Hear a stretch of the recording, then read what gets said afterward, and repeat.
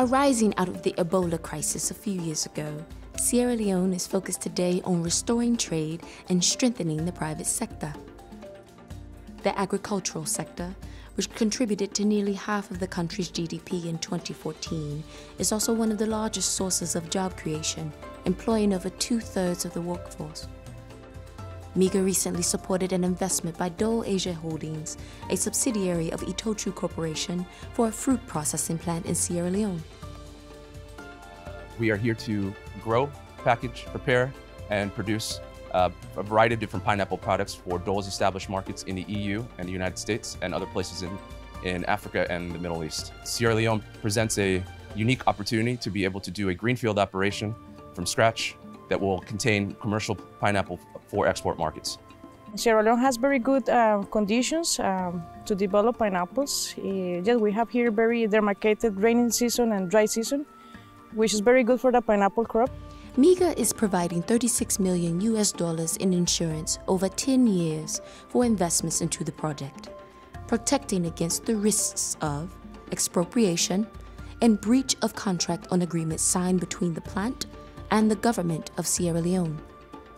MIGA has also mobilized $12 million in reinsurance from Nippon Export and Investment Insurance and $10 million through the IDA private sector window, a facility focused on expanding private investment and creating markets in low income countries. We are partnered with MIGA for the insurance coverage of this project. Therefore, we will meet all of the World Bank's performance standards, which are closely aligned to Dole's environmental and community standards.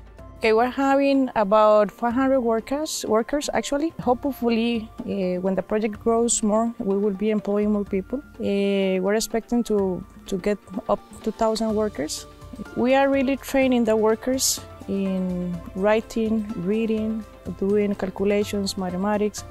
So every day we have the chance to do with them activities that is the, the first time that they do. We're bringing science to them we're training them, teaching them how to develop a crop with all the first world technologies. Well, one of the challenges and force and what kind of the farm may not be labor casual. I try fits hard. I work um, about one month because of the hard work really promotes me for go before to captain. You know, me one of the captain maybe gets um, very versatile areas and for cover. I begin about six areas and we need cover for the day. I think through me hard work um, and the way my activeness in the field make I come up with um, this position as a supervisor for now.